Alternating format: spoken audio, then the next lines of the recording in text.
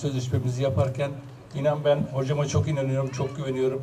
İnşallah bu yıl gerekeni yapacağız. çok güvendiğimiz sevgili Erman'la e, bir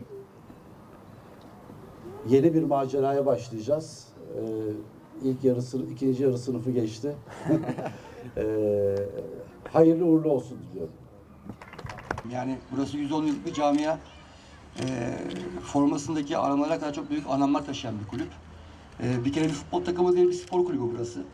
Ee, bunun koltuğu da herkese nasip olmuyor her zaman. Ee, ben çok şanslı hissediyorum kendimi. Tabii bunun getirdiği sorumluluklar da var. Ee, geçen hafta söylendiği gibi bir 15 haftalık güzel bir serüvenimiz oldu ama e, tabii ki bu yeterli değil. Ee, bizim hedeflerimiz çok büyük. Ee, tabii bunu bir istikrar içerisinde, bir sistem içerisinde doğru planlamayla yapmak istiyoruz. Çünkü futbol kolay bir şey değil. Ee, bulunduğumuz kategoriden kurtulmak da kolay bir şey değil. Futbolun gerçekleri de var. Ama uzun zamandan beri çalışıyoruz, e, emek harcıyoruz.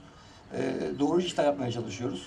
Adım adım da ilerliyoruz. E, umarım e, bizim Karşıyaka Spor Kulübü ile e, birlikte olduğumuz dönemdeki yakaladığımız istikrar bu sezon da sürer. İmza mı? Evet. İmza alacağız. Boş senet var mı?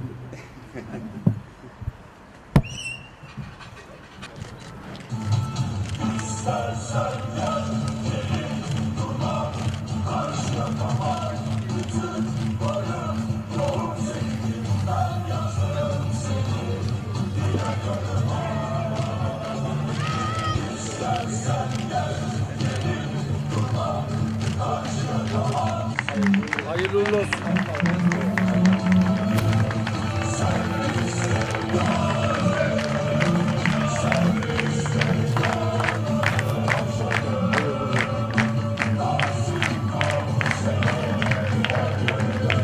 Ahmet abi.